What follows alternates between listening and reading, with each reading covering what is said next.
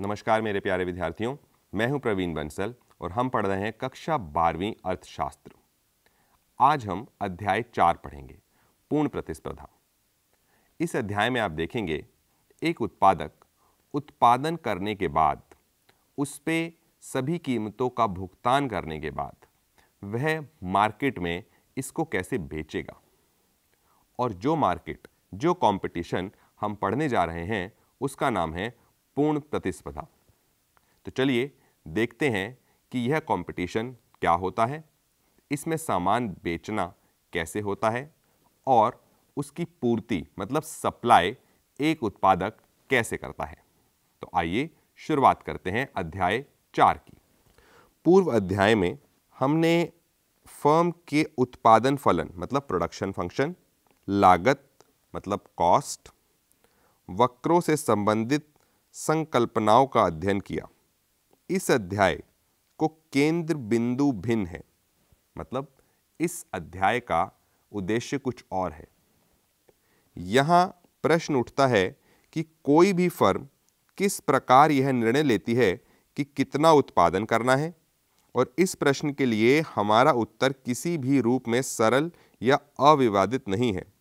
उत्तर firm के व्यवहार की एक निर्णायक अपितु कुछ हद तक अनुचित मान्यता पर आधारित है। हमारे अनुसार, फर्म कठोर रूप से लाभ अधिक करना चाहती है।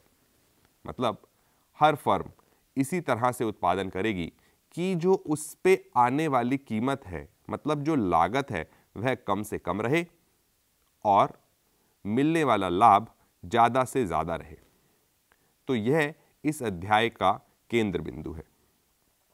जिसमें पहला चरण है कि पूर्ण प्रतिस्पर्धा किसे कहते हैं?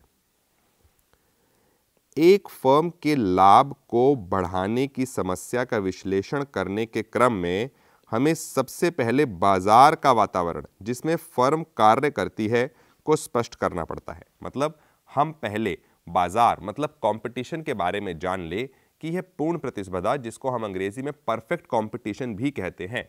वह क्या कहलाता है? देखिए विद्यार्थियों, आप बाज़ार में जाते हैं और आप देखते हैं कि किसी एक वस्तु को बेचने वाले मतलब सेलर, बहुत सारे हैं। एक जैसी वस्तुओं को बेचने वाले भी लोग बहुत सारे हैं और उस ही वस्तु के आपको और भी और भी विकल्प बाज़ार में मिलते हैं। तो इस तरह के बाज़ार जब एक ही जैसी चीज़ बहुत जगह बिक रही हो, एक जैसी वस्तुओं के विकल्प बहुत जगह बिक रहे हो तो आपने वहाँ क्या देखा? आपने देखा कि एक वस्तु जो बहुत सारे दुकानदार बेच रहे हैं, आमतौर पे उसकी कीमत एक होती है और उसकी जानकारी सबको होती है, जैसे कि पेट्रोल। पेट्रोल आमतौर पे एक शहर में सभी जगह समान कीमत पे बिक रहा होता है, क्योंकि सभी जने एक समान वस्तु को ही बेच रहे हैं। परंतु यदि आप बाज़ार में जूते खरीदने जाएँ तो जूतों को खरीदने के लिए आपके पास अनेकों विकल्प हैं और उन अनेक तरह के जूतों की कीमत अलग अलग दुकानदारों के पास अलग अलग पाई जाती है। तो अर्थशास्त्र में इतनी सारी ऊपर नीचे की चीज़ों को देखते हुए कोई कोई निर्णय लेना बड़ा कठिन है। तो हमने यहाँ एक ऐसी कंपटीशन मतलब एक ऐसी प्रतिस्पर्धा को लिया है जो बिल्कुल सरल है और उसका नाम रखा परफेक्ट कंपटीशन जो आपके सामने है। तो यह एक काल्पनिक कंपटीशन है, जो आमतौर पे आप अपनी असल ज़िंदगी में बहुत कम देखते हैं। तो हम यहाँ देखेंगे कि एक उत्पादक कब अपना प्रोडक्शन रोकेगा, उसे किस लागत पर रुक जाना चाहिए और उसे इसे किस कीमत पे बेचना चाहिए। तो इस सरलता को बनाए रखने के लिए हमने यह प्रतिस्पर्धा शुरू करी, जिसका नाम दिया पूर्ण प्रतिस्पर्धा। तो देखिए पूर्ण प्रतिस्पर्धा किसे कहते हैं। इस अध्याय में हम एक ऐसे बाज़ार वातावरण का अध्ययन करेंगे जिसे पूर्ण प्रतिस्पर्धा कहा जाता है। एक ऐसे बाज़ार में दो पारिभाषिक लक्षण हैं मतलब पूर्ण प्रतिस्पर्धा के बाज़ार में दो लक्षण मुख्यतः होने ही चाहिए। बाज़ार खरीदारों तथा विक्रेताओं से बनता है। तो बाज़ार में सभी फर्में एक विशिष्ट, एक रूपात्मक वस्तु का उत्पादन करती हैं। मतलब सरलता के लिए हमने क्या माना कि जितनी भी फर्म बाज़ार में सामान बेच रही हैं, वह सभी की सभी फर्म कैसा सामान बेच रही हैं? एक रूपात्मक मतलब एक ही जैसा। यदि कोई एक पेट्रोल बेच रहा है तो उसी क्वालिटी का, उसी गुणवत्ता का पेट्रोल सभी विक्रेता बेच रहे हैं, जिसमें कोई भी फ़र्क नहीं है। बाज़ार में प्रत्येक खरीदार और विक्रेता कीमत स्वीकारक है। कीमत स्वीकारक मतलब एक कोई भी क्रेता या विक्रेता कीमत को बदल नहीं सकता और कीमत भी सभी की एक है।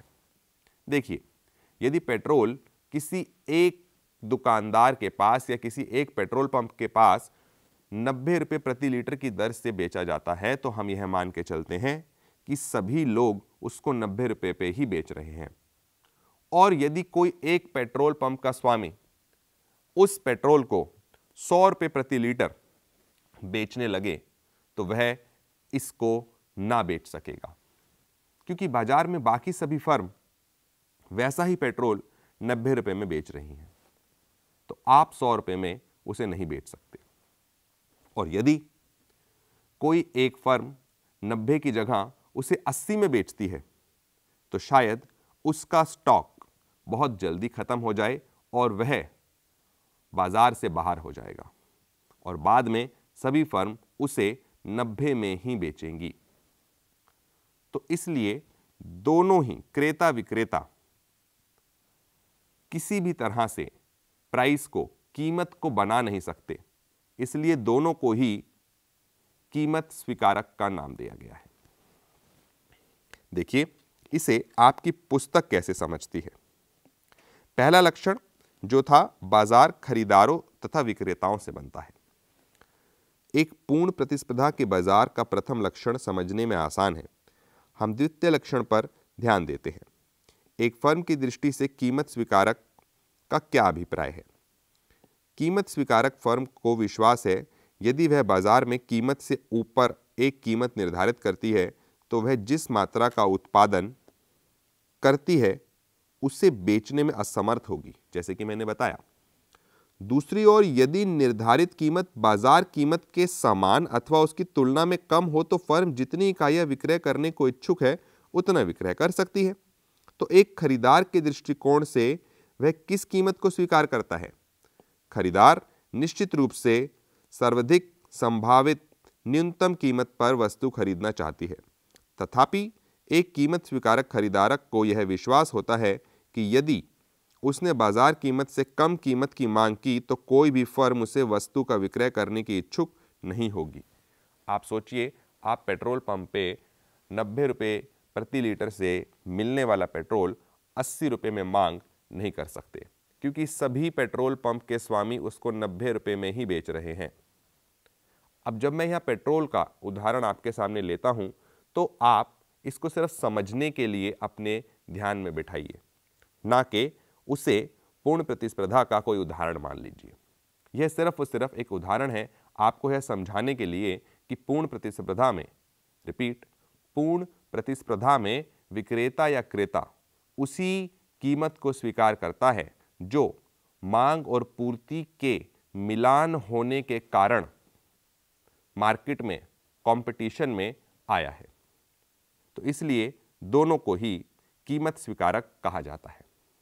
दूसरी ओर, यदि मांगी गई कीमत बाज़ार कीमत के समान अथवा उससे अधिक है तो खरीदार इच्छित मात्रा में वस्तु की बहुत सी इकाइयाँ प्राप्त कर सकता है, परंतु यह लंबे समय तक ना हो पाएगा। और जैसा कि यह अध्याय केवल फर्म से संबंध रखता है तो हम खरीदार के व्यवहार के विषय में अधिक चर्चा नहीं करेंगे। जब आपने मांग का अध्याय पढ़ा तो वहाँ आपने उपभोक्ता के हिसाब से बात की। आज आप सेलर के हिसाब से मतलब उत्पादक के हिसाब से बात करेंगे। और उत्पादक क्या चाहता है? उत्पादक चाहता है कि वह ज़्यादा से ज़्यादा लाभ कमा सके। और लाभ कमाने के लिए उसे सामान बेचना होगा। और सामान को बेचना मतलब रेवेन्यू जिसे हम संप्राप्ति कहते हैं। तो चलिए सुनते हैं, समझते हैं, संप्राप्ति किसे कहते हैं। हमने इंगित किया कि पूर्ण प्रतिस्पर्धा बाज़ार में एक फर्म को यह विश्वास होता है कि वह बाज़ार कीमत से कम से कम उसके सामान कीमत निर्धारित करके इच्छित मात्रा में किसी भी वस्तु की बहुत सी इकाइयों का विक्रय कर सकती है। क्योंकि सभी लोग एक ही सामान बेच रहे हैं, एक ही कीमत पे बेच रहे हैं और ख़रीदार भी बहुत सारे हैं तो निर्धारित कीमत पर एक विक्रेता बहुत सारी इकाइयों को बेच सकता है। और इन सभी इकाइयों को बेच के जो पैसा उत्पादक उपभोक्ता से वसूलता है, उसे कहते हैं रेवेन्यू संप्राप्ति। मैं दोहराना चाहूँगा, एक उत्पादक अपने उत्पादन को। बेच के जो रकम उपभोक्ता से वसूलता है, उसे संप्राप्ति कहते हैं। एक फर्म अपने द्वारा उत्पादित वस्तु का बाज़ार में विक्रय करके संप्राप्ति अर्जित करती है। मान लीजिए वस्तु की एक इकाई की बाज़ार में कीमत पी है पी प्राइस इसी प्रकार क्यू फर्म की उत्पादित तथा पी कीमत पर बेची जाने वाली वस्तु की मात्रा है। पी प्राइस है क्यू मात्रा है। तब फर्म की कुल संप्राप्ति पी तथा फर्म के आउटपुट क्यू के गुणनफल के रूप में परिभाषित किया जा सकता है। इसलिए कुल संप्राप्ति हुआ पी गुणा Q P price Q quantity दोनों का गुणनफल एक फर्म की संप्राप्ति है। तालिका चार दशमलव एक आपको बताती है कि कुल संप्राप्ति, जिसको मैं टोटल रेवेन्यू भी कह सकता हूँ, क्या होती है? देखिए, इस अध्याय में आप पूर्ण प्रतिस्पर्धा मतलब परफेक्ट कंपटीशन के बारे में पढ़ रहे हैं। पूर्ण प्रतिस्पर्धा, जहाँ दोनों ही क्रेता विक्रेता कीमत स्वीकारक हैं। मतलब एक कीमत सभी के लिए समान रहेगी। आप जितनी मर्ज़ी इकाइयाँ बेच लीजिए, कीमत वही रहेगी। आप पेट्रोल जितना मर्ज़ी भरवा लीजिए, आपके लिए कीमत वही रहेगी। ज़्यादा सामान बेचने के लिए आमतौर पे दूसरे बाज़ारों में, ध्यान से मेरे इस उदाहरण को सुनिए, यदि एक उत्पादक अपना सामान ज़्यादा बेचना चाहता होता है तो वह कीमत को गिराता है। ताकि लाभ ज़्यादा हो सके, परंतु पूर्ण प्रतिस्पर्धा में ऐसा नहीं होता। सामान की कीमत मात्रा के हिसाब से बढ़ती घटती नहीं, सामान की कीमत उतनी ही रहती है। तो देखिए, विक्रय किए गए डब्बे या कुछ भी, एक, दो, तीन, चार, पाँच, जो भी हो, और यदि हमने उसका प्राइस दस रुपये माना तो कुल संप्राप्ति एक गुणा दस दस है। दो पे दो गुणा दस, बीस है। तीन पे तीन गुणा दस, तीस है। और इसी तरह चार पे चालीस और पाँच पे पचास। और यह संप्राप्ति, यदि मैं किसी रेखा चित्र पे आपको दिखाऊँ, कुल संप्राप्ति तो वह कुछ इस तरह से दिखाई देगा। ये एक 45 डिग्री का कोण बनाता हुआ रेखा चित्र ग्राफ। आप देखिए, यदि मैं एक्स एक्सिस पे निर्गत और यहाँ संप्राप्ति लिखता हूँ तो यह गैप सभी में समान रहेगा। एक पे दस दो पे बीस, तीन पे तीस। और इस तरह से कुल संप्राप्ति का वक्र आपको 45 डिग्री का कोण बनाता हुआ दिखेगा। और अब यदि मैं इसी रेखा चित्र पे कुछ और चीज़ें आपको दिखाने लगूं तो वो क्या हो सकती हैं? आप पिछले अध्याय को या उससे पिछले अध्याय को ध्यान कीजिए, जब आपने कुल उत्पादन पढ़ा तो साथ साथ में आपने सीमांत उत्पादन भी देखा। औसत उत्पादन भी देखा। तो क्या वह सभी चीज़ यहाँ पे भी दोहराई जाएँगी संप्राप्ति के लिए? तो जवाब है, हाँ, बिल्कुल ऐसा ही होगा। देखिए, आपने देखा कुल संप्राप्ति किसे कहते हैं? जो है सभी इकाइयों को बेच के वसूल होने वाली रकम। यह कहलाती है कुल संप्राप्ति।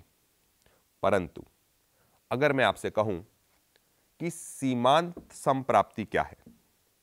सीमांत संप्राप्ति का अर्थ है, एक और इकाई को बेच के, एक और इकाई को बेच के एक उत्पादक के पास कितनी संप्राप्ति होती है? देखिए, जैसे एक को बेच के उत्पादक को दस रुपए की संप्राप्ति हुई, ऐसे ही दोनों को बेच के उसे बीस रुपए की संप्राप्ति हुई। मार्जिनल रेवेन्यू सीमांत संप्राप्ति मतलब एक और इकाई को बेच के आपकी कुल संप्राप्ति में क्या बदलाव आया? उसे कहा जाता है सीमांत संप्राप्ति। एक ज़्यादा बेच के आपको जो संप्राप्ति हुई वह है दस रुपए की। दूसरे को बेच के बढ़ोतरी हुई दस की। तो फिर से वह आया दस। ऐसे ही तीसरे के लिए, ऐसे ही चौथे के लिए और ऐसे ही पाँचवें के लिए। इसे कहा गया मार्जिनल रेवेन्यू और साथ ही साथ मैं एक और चीज़ आपको दिखाऊँ। आपने यहाँ कीमत रखी दस रुपये यह औसत संप्राप्ति है। अगर मैं परिभाषा पे जाऊँ तो औसत संप्राप्ति का अर्थ क्या है? कि औसतन आप एक इकाई से कितना भुगतान लेते हैं। तो एक इकाई को बेचने से जो आपको मिला, वह उस चीज़ की कीमत नहीं तो और क्या है? तो जो कीमत है, जो सामान को बेचने की कीमत है, जो पूर्ण प्रतिस्पर्धा में एक ही रहती है। चाहे मात्रा जितनी मर्ज़ी ज़्यादा कम क्यों ना हो जाए। तो कीमत और कुछ नहीं, वह सिर्फ़ और सिर्फ़ औसत संप्राप्ति है। मतलब एवरेज रेवेन्यू है। तो इस अध्याय में आप अगर कीमत बोलते हैं, पूर्ण प्रतिस्पर्धा के लिए तो वह और कुछ नहीं, औसत संप्राप्ति है। तो प्राइस जो है, वही एवरेज रेवेन्यू भी है। तो आपने यह देखा कि पूर्ण प्रतिस्पर्धा में ए आर एम आर या पी मतलब कीमत, सीमांत और औसत, यह समान है। जिसका कारण सिर्फ़ और सिर्फ़ एक है कि कीमत में बदलाव नहीं होता। और कीमत में बदलाव क्यों नहीं होता? क्योंकि सभी क्रेता विक्रेता एक ही एक ही चीज़ में व्यापार कर रहे हैं। जब सभी लोग एक ही सामान बेचेंगे तो शायद यह बहुत मुश्किल हो जाता है कि आप बिल्कुल एक गुणवत्ता का सामान दो अलग अलग जगहों से अलग अलग कीमत पे नहीं ले सकते, ना खरीद सकते, ना बेच सकते। इसी कारण से प्राइस मतलब कीमत एक रहती है। और यहाँ मैं दूसरा वक्र अगर आपको दिखाऊँ तो वह है कीमत रेखा। कीमत रेखा मतलब प्राइस लाइन। और प्राइस लाइन ही एवरेज रेवेन्यू है और मार्जिनल भी। मतलब कीमत बराबर, सीमांत बराबर, औसत। यह है आपके पूर्ण प्रतिस्पर्धा के T R M R A R कुल संप्राप्ति, औसत संप्राप्ति और सीमांत संप्राप्ति। तो चलिए देखते हैं पुस्तक किस तरह से औसत संप्राप्ति और सीमांत संप्राप्ति को बताती है। औसत संप्राप्ति, गणित देखें तो कुल संप्राप्ति को मात्रा से भाग कर दिया गया है। जैसे, यदि पाँच इकाइयाँ बेच के आपको पचास रुपये मिलते हैं तो आप पचास को पाँच से भाग करते हैं और आपको मिलता है दस रुपया। और यह वस्तु की कीमत भी है और यही वस्तु का औसत संप्राप्ति भी है। और सीमांत संप्राप्ति पुरानी ही चीज़ों की तरह है कि आप छठे इकाई को बेच के क्या प्राप्त करते हैं? तो पाँचवें और छठे इकाइयों के संप्राप्ति में जो अंतर है, उसी को हमने क्या कहा? सीमांत संप्राप्ति। तो आपने देखा इस भाग में कि हमने कैसे पूर्ण प्रतिस्पर्धा को समझा और पूर्ण प्रतिस्पर्धा में कौन काम कर रहा है? एक फर्म काम कर रही है। और जब एक फर्म काम कर रही है तो वह लाभ कैसे अर्जित करेगी? उस लाभ के लिए उसे सामान बेचना है। और सामान बेचने के लिए आपने पढ़ा संप्राप्ति क्या होती है। संप्राप्ति तीन तरह से हमने देखी और उसके वक्र भी हमने देखे। तो इस अध्याय के लिए यह था पहला भाग, जिसके प्रश्न आपके पाठ्य पुस्तक में इन पृष्ठों पे दिए हुए हैं। तो आप सभी इन प्रश्नों का अभ्यास करें और अगले भाग में हम देखेंगे कि किस तरह एक फर्म लाभ ज़्यादा से ज़्यादा कमाने के लिए कैसे रेवेन्यू पे, संप्राप्ति पे रोक लगाती है। धन्यवाद।